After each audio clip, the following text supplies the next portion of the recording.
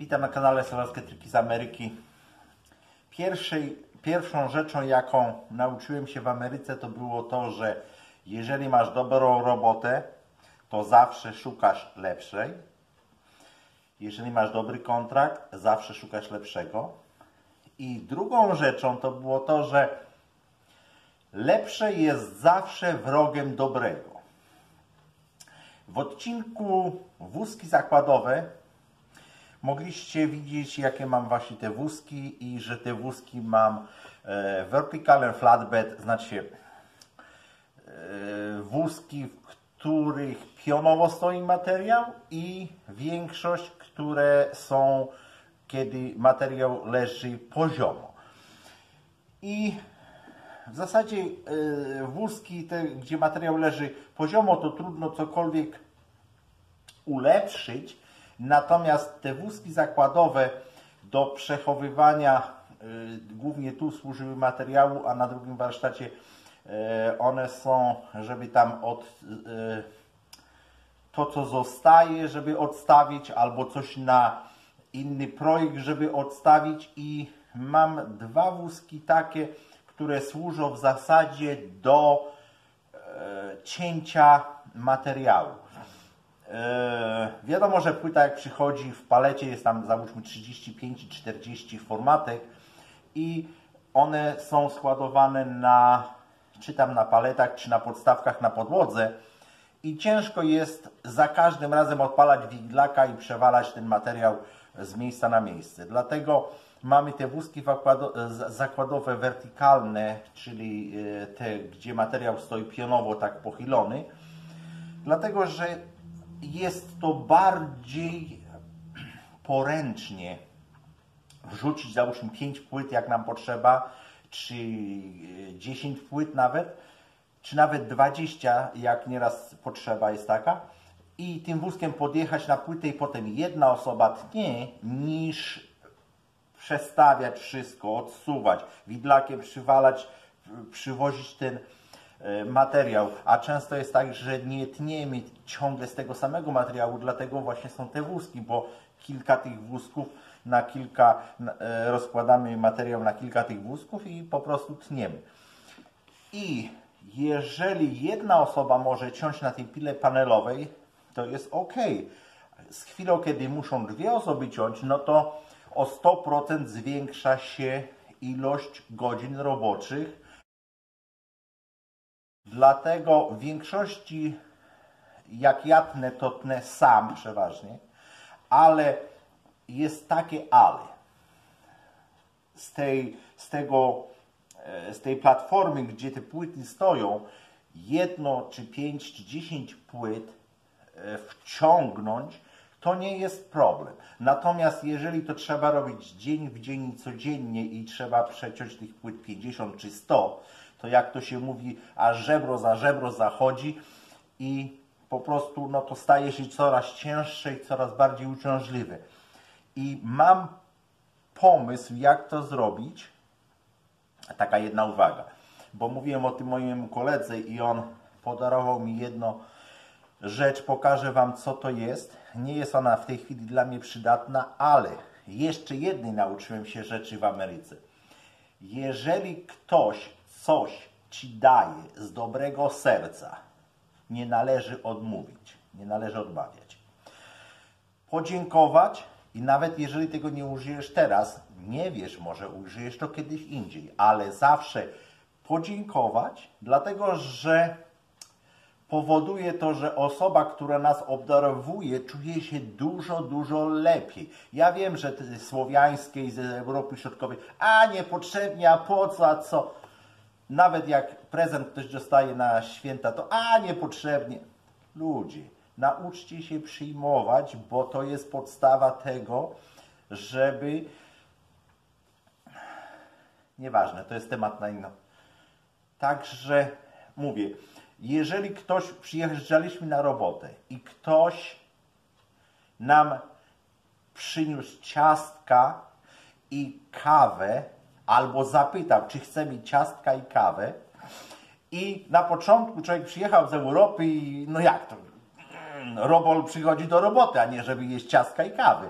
No i jak zdarzyło mi się kilka razy, że ładnie, ale odmówiłem, to potem nawet jak robiliśmy trzy miesiące tam, to nikt nigdy się nie zapytał i nikt nie przyniósł. Chociaż nawet nieraz chciało się tej kawy, nikt nawet nie zaproponował.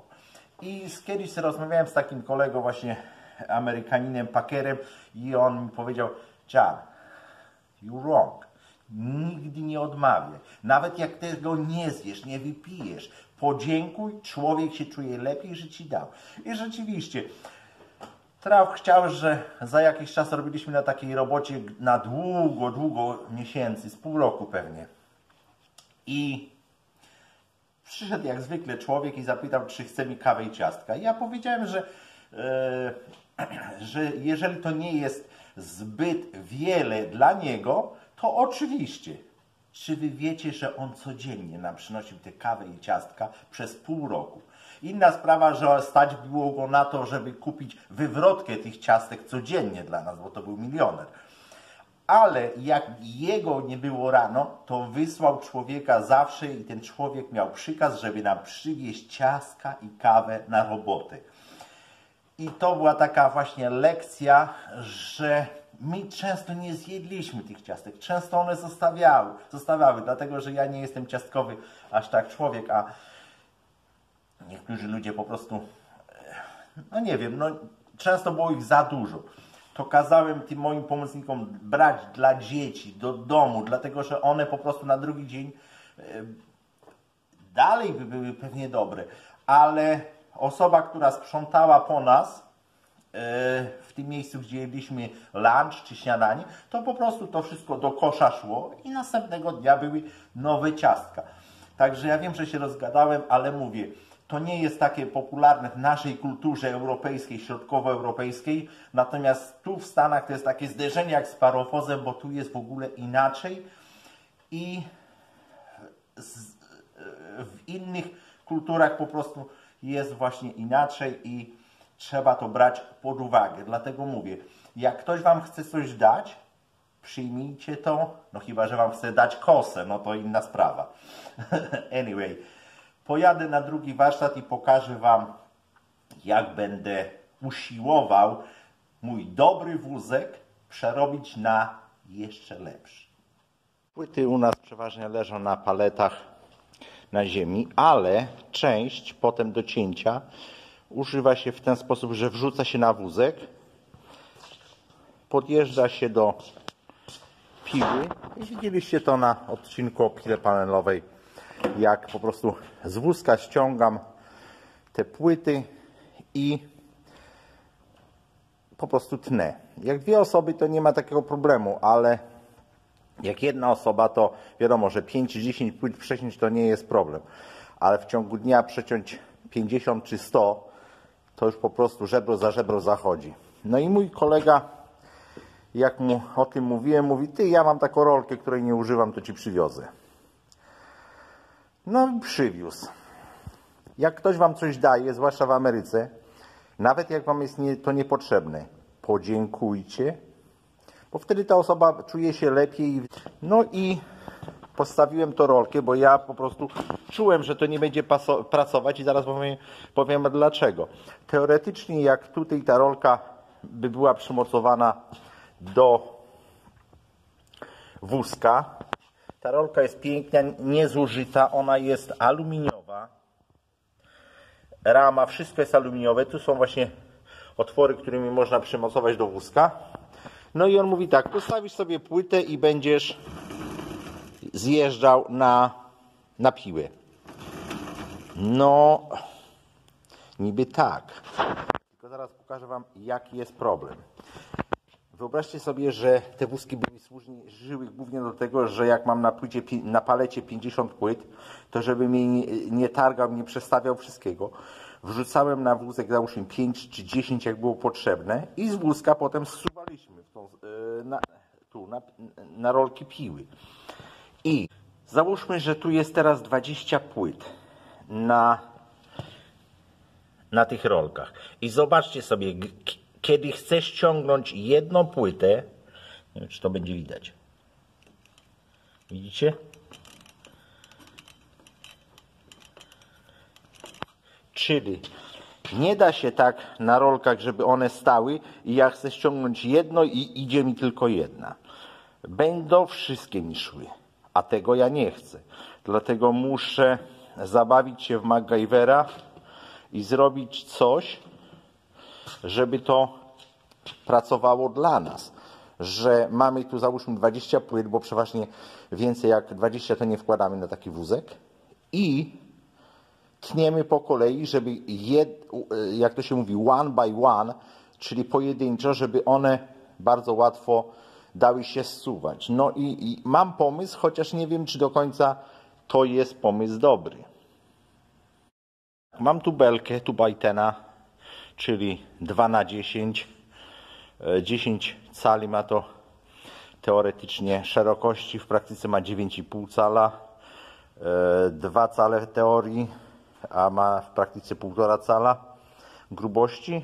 I mam tu rolkę, której praktycznie tej nie używamy od lat, dlatego że śruba, która tutaj zaciskowa nam się urwała i trzeba kluczy szukać, także ona leży w kącie, widać za, zakurzona i nikt jej nie używa, dlatego przy pomocy tej belki i tej rolki postaram się zrobić, przerobić wózek tak, żeby on pracował. Wiertarka, wiertła i otwory wywiercone po prostu, które wydaje mi się, że będą potrzebne. Oczywiście rolkę musiałem zdjąć, ale to nie jest problem. Jest materiał konstrukcyjny, dlatego jak tu poleżał w suchym miejscu, zaczął pękać, dlatego zasmarowałem klejem i potem zakleiłem taśmą e, końcówki. Tak samo i tu jeszcze raz posmarowałem klejem. To nie ma żadnego znaczenia. Po prostu tak z przyzwyczajenia, że jak jest pęknięcie, to, to kleję. E, tu przy, przykręciłem już na trzy calowe e, trzy śruby i teraz tu jeszcze trzy położę i założę rolkę. Anty penhead, czyli z płaskim łbem i tu, jak pewnie zwróciliście uwagę, e, dałem jeszcze 1 czwarta MDF, żeby obniżyć to, bo po prostu tak wydaje mi się, że będzie lepiej, ale to się pokaże w praniu. Te rolki akurat bardzo łatwo się zakłada, dlatego że po prostu tu się wciska i o, i pozamiatane.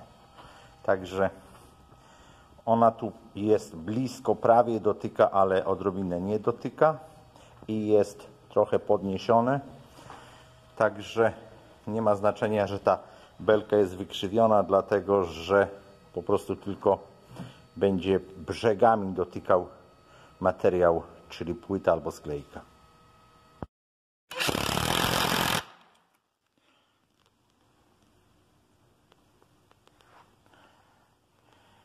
Oczywiście przyklejone to zostało, ale nie żeby była taka potrzeba, tylko warto pielęgnować dobre nawyki. Także po prostu przykleiłem to.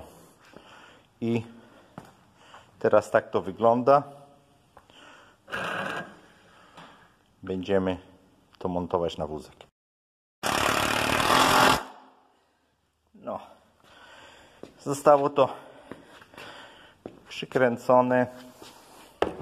Lenistwo matko wynalazku. Dlatego nie kładłem się na ziemi, tylko przechyliłem, przechyliłem to tak. Jedna jeszcze ważna sprawa, ponieważ tu jest duży sęk, to od spodu ponacinałem, żeby osłabić te drewno, te włókna, tak jak się kiedyś w Polsce parapety robiło. Nie wiem, czy teraz się jeszcze w ten sposób robi, ale jak coś tam, żeby parapet mniej pracował, pracował to się nacinało czasami wzdłuż, czasami w poprzek. Nie miałem bardzo z czego wybrać, dlatego ta belka jest materiałem konstrukcyjnym i z takim dużym sękiem. No ale to nie będzie w ogóle przeszkadzało, dlatego że płyta będzie opierała się tylko tam na rolce i tu na końcu na właśnie tej belce. Pojedziemy do Kiwi, zobaczymy jak to działa. Tak jak Wam mówiłem, z jednej strony płyta leży na rolce, z drugiej strony leży właśnie na tej belce, ale to jeszcze jest nie koniec, dlatego że nie mam w tej chwili materiału tu. Jutro, który mi jest potrzebny do dokończenia tego projektu. Jutro będę miał ten materiał. Kolega mówi, że ma kawałek, więc wezmę od niego, dokończę i Wam pokażę jak to wygląda i jak to pracuje.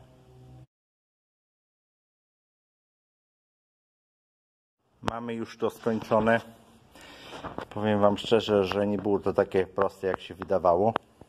Wiedziałem, że jak będą wszystkie płyty stały na rolce, to znowu nie da się to rolko kręcić, dlatego że jak będzie załóżmy 10 płyt, to one zatrzymają i jedna płyta nie będzie w stanie ruszyć tej rolki. Natomiast jeżeli ruszy tę rolkę, to wszystkie 10 pójdzie. Dlatego musiałem zrobić coś takiego. Tu są dwie, dwie prowadnice. Na góry, że jest e, między tym, e, jak to nazwać, no, dystans. Jest to wszystko poklejone i poskręcane na śruby i to jest ironwood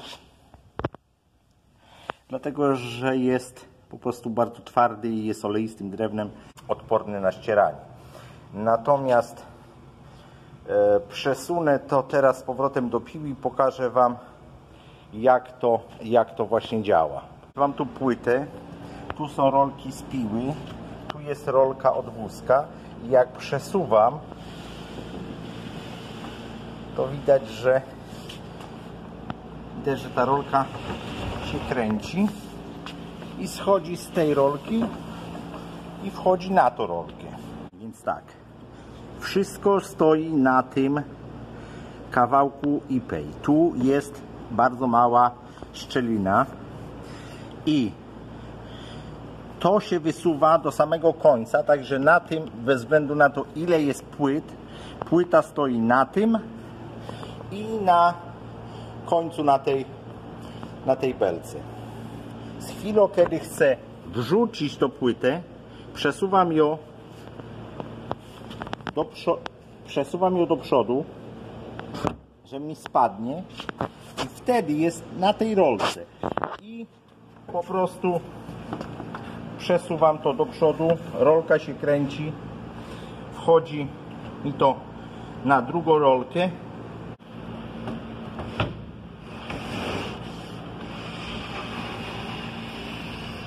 Widać, że się kręci i że to jest ja wiem, że to może nie wygląda to pięknie i jednoręko to nie jest tak dobrze nakręcić, ale po prostu chciałem już to skończyć. Także w tej chwili działa to.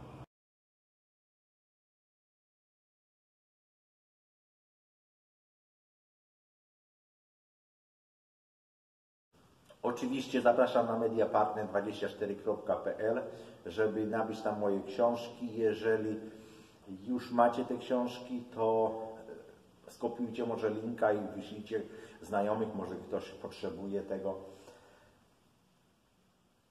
Jak się podobało, standardowo dajcie lajka. Miłego dnia. Niech moc będzie z Wami.